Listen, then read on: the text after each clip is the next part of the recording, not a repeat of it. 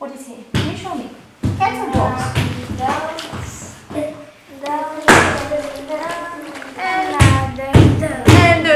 Chris și Carol au chef de joacă în timpul unei lecții, dar nimeni nu strigă la ei, așa cum s-ar întâmpla într-o grădiniță de stat de la noi. Mi-au dispărut copiii, nu mai avem nici strugurați, nici cuțe, ce le facem? Alexandra Anton, directorul acestui centru, are 31 de ani, dar în 2011 a mers la studii în Finlanda. I s-a părut incredibil cum sunt educați acolo copiii și și-a propus ca la întoarcerea în țară să facă ceva similar. Ne pasă foarte mult uh, ce ajunge la copil, ce simte el. Uh, lucrăm cu șapte copii în grupă per profesor.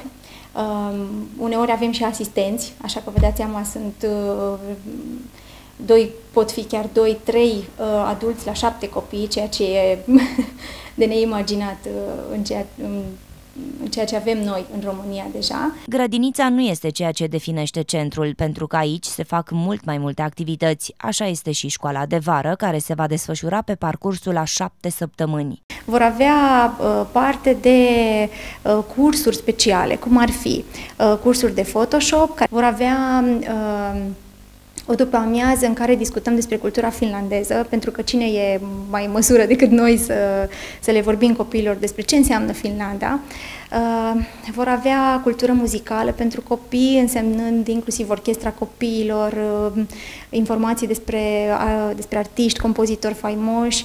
Vor mai avea, uh, un, pentru cei mai mari acum, să discutăm și despre ei, vor avea un curs de business aplicat.